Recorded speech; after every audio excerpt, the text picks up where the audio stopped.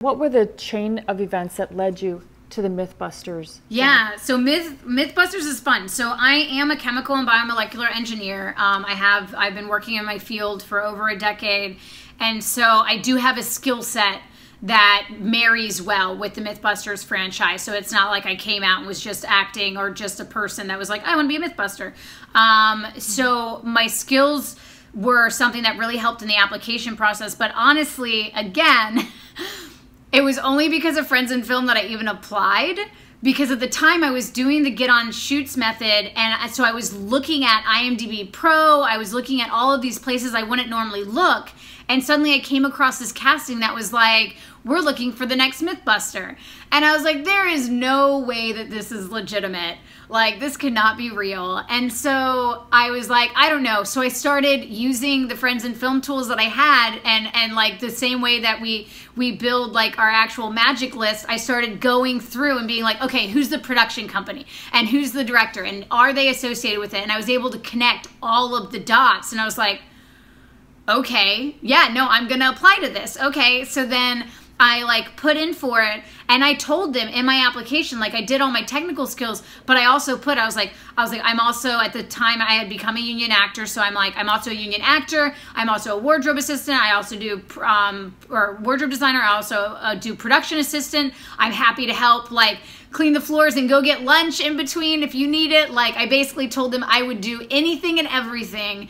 And because of that, out of over 10,000 applicants, I was one of the 10 people selected to come and compete on their competition show and then from there i did what what i do every day when i when i go to a set as a production assistant like i would deliver my stuff 110% but then as soon as there was a break moment I would go get water and I would bring it for everyone. And I would go and get food and I'd bring it for everyone. And I just kind of kept doing what I would normally do when I'm on the production side of things. And it made the production team just fall in love with me, you know, because they weren't used to that. They weren't, you know, used to talent.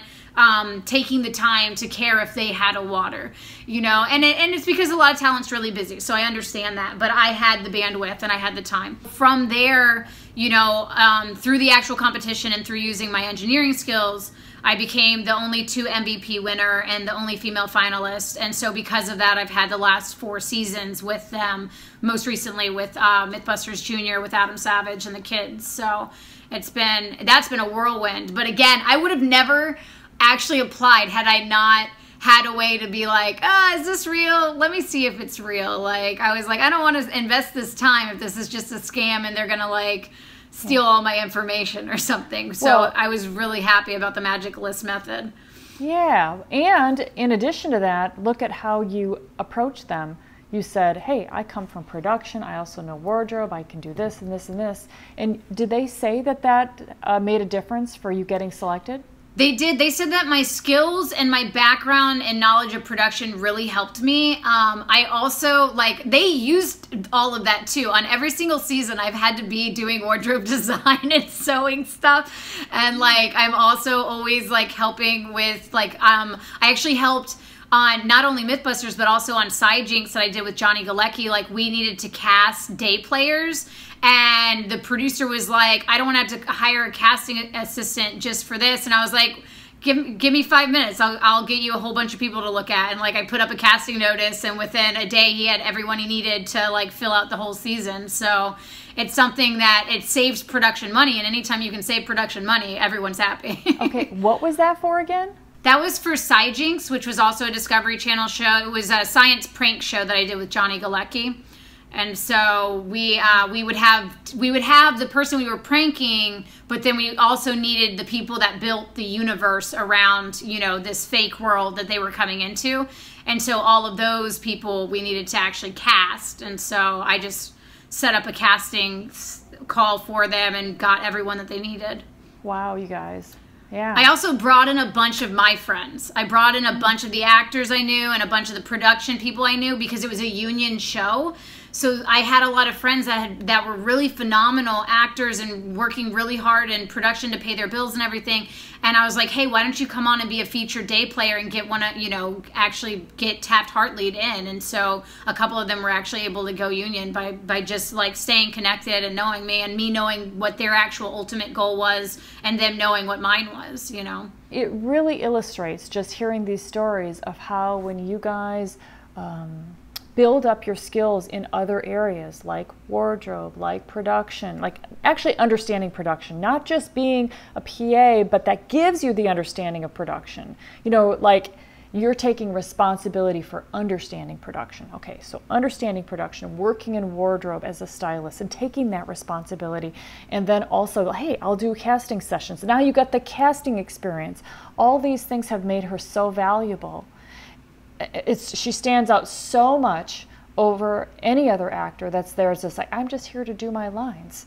Now she knows a lot of actors that are that all they know is acting, but she's just chosen to have a much broader ability.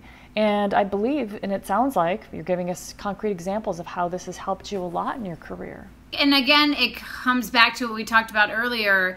This helps build my safety net. Like I'm able to be available to take acting um, classes and to go to casting calls and to do all this because I work in production when I'm not working on set and I'm able to then have the flexibility to be able to, to, to be physically available, but also to monetarily not be worried, not to have to work every single night, late shift, waiting tables because I need to make ends meet. Like I'm able to make more than that like what I would make even on the best night waiting a table by being a production assistant on a major commercial or, you know, by calling up my friends. Like anytime I'm off season with Mythbusters, I call up my art director friends, I call up my wardrobe designer friends, and I'm like, hey, I'm available. Let me know if you need anyone. Like I'm, you know, um, and even like so Jake Jake Tremblay and I, he was talking with you guys for a while. Like he and I um, are, are become like very close. Like when I first started wardrobe designing and I first landed MythBusters, um, I had met him because of the program. He was, and then we ended up on the same shoot together where I was wardrobe designing and he was an extra